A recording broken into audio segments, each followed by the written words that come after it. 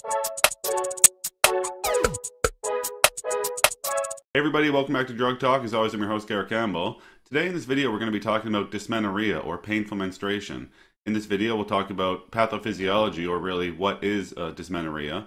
We'll talk about some non-pharmacologic methods or remedies that can be used to ease the pain of dysmenorrhea, as well as pharmacologic therapies or medications that can be used in the treatment of dysmenorrhea. Before I get into the video, just keep in mind that this information is for information purposes only and not to be used as a source for recommendations for your personal health care. I've put together some slides to go over this information, so let's just jump right into it. Well, the first thing to discuss here would be the pathophysiology. So, dysmenorrhea is defined as painful menstruation. It can be classified as primary or secondary. Primary dysmenorrhea is attributed to uterine contractions with no underlying pathology.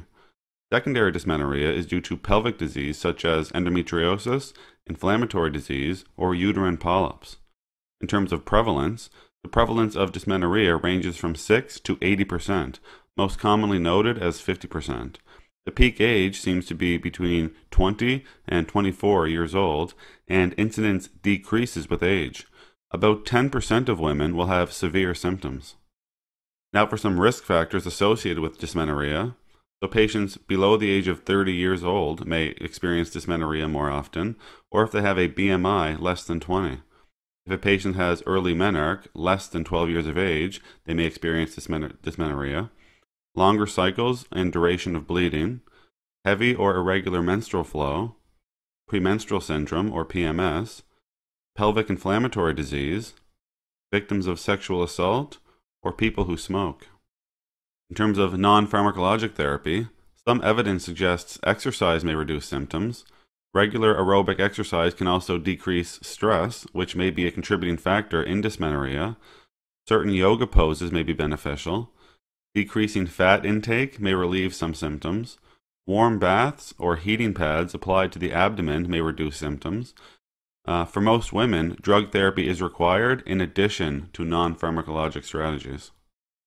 Now, for pharmacologic therapies, so non steroidal anti inflammatory drugs, or NSAIDs, NSAIDs may alleviate pain associated with dysmenorrhea by decreasing prostaglandin concentrations in endometrial and menstrual fluid.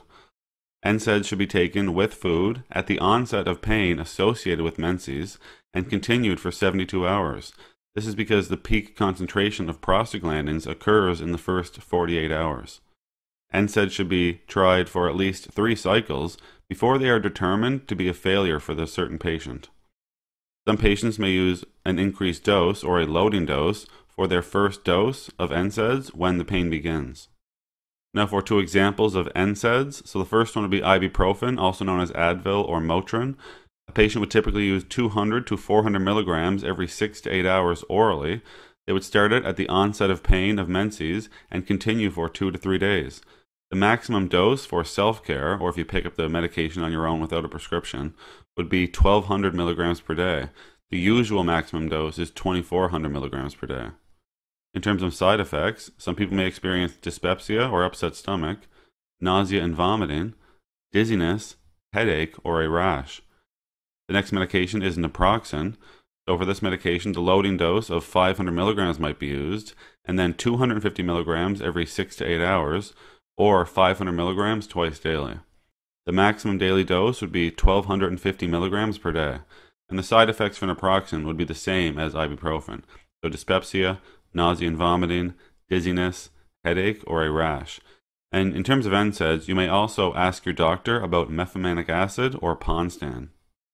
Lastly, here we have hormonal contraceptives. So, combination oral contraceptives, or COCs, are often used to treat dysmenorrhea. They reduce the amount of prostaglandins in menstrual fluid by reducing the amount of fluid in general. They also inhibit ovulation, and dysmenorrhea only happens in ovulatory cycles. COCs are up to 90% effective in relieving dysmenorrhea symptoms, and COCs are available by prescription. All right, everybody, that's all we're going to talk about today with dysmenorrhea or painful menstruation. As always, I'm very thankful you took the time to come by and watch one of my videos. If you found the information valuable and you'd like to help grow this channel, you can like the videos, share the videos, and most importantly, subscribe to the YouTube channel. There's also some links in the description you can check out as well. But for today, take care.